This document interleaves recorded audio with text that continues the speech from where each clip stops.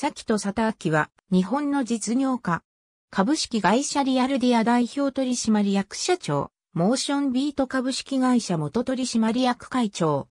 ソニー、ベインカンパニー、ウォルト・ディズニー・ジャパン、AOL ジャパンなどを経て、2004年にアップル、米国本社マーケティング担当バイスプレジデント兼日本法人代表取締役に就任。独自のマーケティング手法で iPod mini を大ヒットに導き、スティーブ・ジョブズ氏に託された日本市場でアップルを復活させた。アップル退社後、2007年にリアルディアを設立。様々な企業ともコラボレーションしながら、人々のセルフイノベーションを促す事業を展開している。愛知県犬山市出身。慶応義塾、大学大学院管理工学修士課程修了。ソニー、ベインカンパニー、ウォルト・ディズニー・ジャパン、AOL ジャパンバイスプレジデントを経て、1999年に無料 ISP を展開する株式会社ライブドアを創業、代表取締役社長に就任。2002年にライブドアは民事再生法を申請し倒産。事業を堀江貴文率いるオンザエッジに譲渡した。2003年に社名をライブドアからブナロードに変更後しばらく経て解散した。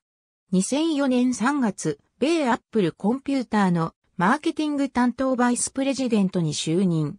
アップルコンピューターの携帯音楽プレイヤー iPod mini を2004年の大ヒット商品へと仕掛けた。同年後半には兼任で、同社日本法人の代表取締役を務めていたが2006年7月11日両役職ともに退任を現職。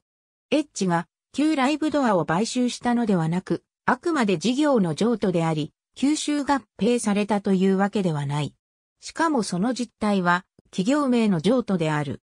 また、ライブドアの創業者と未だに呼ばれることが多いが、現在のライブドアホールディングスとは別会社であるので、これはやや正確さを欠く表現である。本人は後に、まさか、堀江さんの会社がライブドアに社名変更するとは思わなかったと語っている。ちなみに、アップル入社面接の際、スティーブ・ジョブズ CEO に、 VAIO の薄型ノートパソコン、PCGX505 SP を出し、日本で Mac を売るためには、このような製品が必要だと述べたものの、スティーブ・ジョブズは真っ向から否定したという。だが2008年、アップルは薄型軽量のノートパソコン MacBook Air を発売しジョブズは発表の場でVAIO TZ との比較プレゼンテーションを行った。2012年4月からフジテレビ、めざましテレビのコメンテーターを務めている。2012年10月、モーションビート株式会社の取締役会長を退任。学び続ける知性ワンダーラーニングで移行。日経 BP、2021年6月4日。